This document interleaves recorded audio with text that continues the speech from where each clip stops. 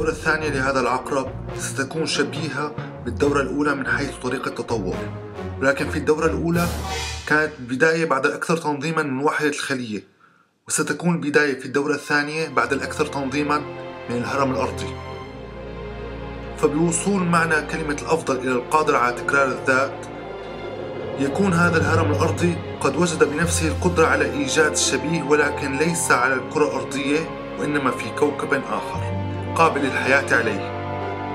وبالتالي فإن هذا الهرم سوف يزيد من حجمه المؤقت عما تتحمله مساحة الأرض. ومن ثم سوف يقتطع من نفسه شبيهه ولكن أصغر منه والذي يمكننا أن نشبهه بسفينة نوح المصغرة للحياة الأرضية أو الهرم الأرضي. ومن ثم سينطلق هذا الشبيه في مركبة فضائية تماما كما في فلك نوح باتجاه كواكب أخرى قابلة للحياة. ولن يكون هذا الانقسام وحيدا. فالتكاثر عند الهرم الأرضي لن يقف هنا بل إنه سيرسل العديد من سفن نوح باتجاه كواكب أخرى قابلة للحياة. ومن ثم يمكننا تخيل الوصول لمتعدد الأهرامات نسبة لمتعدد الخلايا. وهكذا وكما بدأت أولى متعددات الخلايا بالحركة والتكاثر واستهلاك المواد الأساسية ستقوم متعددات الأهرامات بنفس الوظائف ولكن بما يتناسب مع الزمن الذي تعيش فيه والمساحات الشاسعة التي تتحرك فيها. لتشير الساعة إلى مرحلة الافتراس. الأقوى فالأذكى ومن ثم التعاون. سيكون التعاون سائدا بين أولئك الأذكياء بين متعددات الأهرامات. ومن ثم التنظيم الأمثل فيما بينها لقيادة جميع تلك المتعددات الأهرامات بمختلف أنواعها وجعلها جزءا من كائن هائل عظيم يكون قائده هو تجمع متعددات الأهرامات الذكية الشبيهة بالمجتمع الإنساني. ويضم هذا الكائن الهائل تحت لوائه جميع أنواع تلك المتعددات الأهرامات ويقوم بتنظيم العلاقة فيما بينها لتشكل كائنا عظيما يمكن تسميته بالمخروط الكوني الكبير لشبهه بالهرم الأرضي الكبير. وهكذا دواليك ستستمر ساعة التطور بالدوران. ويمكننا هنا تقديم محور التطور أو الخط البياني للتطور في الدورة الأولى لساعة التطور. انطلاقا من انفجار الكون الكبير الأول وصولا لواحدات الخلايا. الإنسان المجتمعات فالهرم الأرضي الكبير المثالي. لتبقى لدينا إمكانية لتخيل الخط البياني في الدورات المتوالية لساعة التطور بالشكل التالي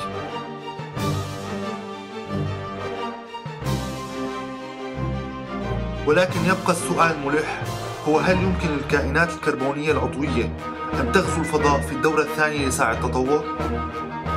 هل يمكن للكائنات العضوية الضعيفة أمام البيئة العدائية للفضاء والكون من الانتشار خارج حدود كوكبها الآمن الأرض؟ أظن أن التخيلات والافتراضات المقترحة من قبل العلماء وكتاب الخيال العلمي ما زالت قاصرة أو مفرطة في النظرة الإنسانية. ونظن أن الحل المنطقي هو عن طريق المجتمع المثالي الآلي. لفهم هذا الكائن الجديد وتلمس مظاهر بدايات تكونه نخص هذا القسم الأخير من الفيلم لمحاولة وصفه تبرير صفاته وتوضيح مظاهر بدايات تكونه. فيما بيننا دون أن ندركه.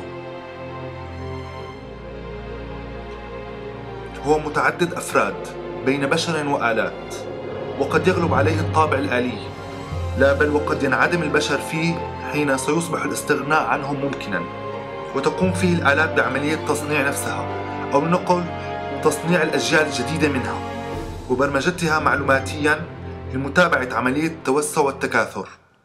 والتكاثر هنا هو تكاثر المجتمع الآلي أو الهرم الأرضي الآلي ككل وليس تكاثر الأفراد قد يجادل الكثيرين حول استحالة سيطرة الآلات أو قدرتها على تجاوز البشر كونهم صانعيها أو حتى استحالة تطور الآلات دون بشر يقومون بتطويرها. ولكن كل هذه الأفكار تظل صحيحة عند التفكير كأفراد والنظر للآلات كآلات منفردة وليس كمجتمع آلي يتطور تدريجيا من داخل المجتمع البشري المتقدم. إن حال من يجادل من هذا المنظور كحال خلية في جسم قرد. ترفض الاقتناع أن خلية انقسمت منها قد تضعها في حديقة الحيوانات. لكن الحقيقة أن تطور كامل الخلايا المشكلة للقرد وعلى مر الأجيال قد أوصل إلى مجموعة خلايا تشكل الإنسان. وفي النهاية تم وضع القرد في حديقة الحيوانات من قبل الإنسان. إن توقعنا لهذا الكائن الجديد المجتمع المثالي الآلي يظل ضمن حدود ضبابية وعدم الدقة الكاملة لما لعوامل تشكله من إمكانية للتغيير. لكن يمكننا تلمس مظاهر بدايات تكونه. أو لنقل تطور المجتمع البشري المتقدم باتجاه المجتمع المثالي الآلي والتي تتمثل بعدد من النقاط مثل تطور التصنيع في المجتمعات المتقدمة إلى المكننة دخول الآلة والبرمجية دخول معلوماتية والاستغناء عن اليد العاملة وبالتالي ارتفاع معدلات البطالة رغم انخفاض عدد السكان لقلة الإنجاب في هذه المجتمعات. تدهور المناخ والأنظمة البيئية نتيجة للتلوث الناتج عن صناعات متطورة مما يهدد الموارد الغذائية للبشر والكائنات الكربونية لكنه لا يؤثر على الآلي والمجتمع الآلي وكأن هذا الكائن الجديد يغير بظهوره مواصفات الأرض لمصلحته. ودون الاكتراث للكائنات السابقة التي تؤول إلى الانقراض. بداية تشكل الجهاز العصبي لهذا الكائن المجتمع المثالي الآلي والمتمثل بشبكة الإنترنت والتي تمتد وتسيطر على كامل الكرة الأرضية أو نقل على المراكز الفاعلة فيها. كل هذا يؤكد أن هذا الكائن المجتمع المثالي الآلي هو في طور التشكل أو التطور وهو في طريقه لبناء الهرم الأرضي الكبير ضمن احتياجاته. ليبدأ هذا الهرم رحلته في الدورة الثانية ساعة التطور نحو الكون وما بعده. لنختم فيلمنا هذا بتقديم شجرة التطور والتي تعطينا نظرة عامة للكائنات وتسلسلها في الدورة الأولى لساعة التطور انطلاقا من انفجار الكون الكبير الأول وصولا للواحدات الخلية فمتعددات الخلايا فالإنسان فالمجتمعات فالمجتمع المثالي الآلي الذي سيتجاوز البشر والكائنات العضوية كمرحلة فائتة في التطور.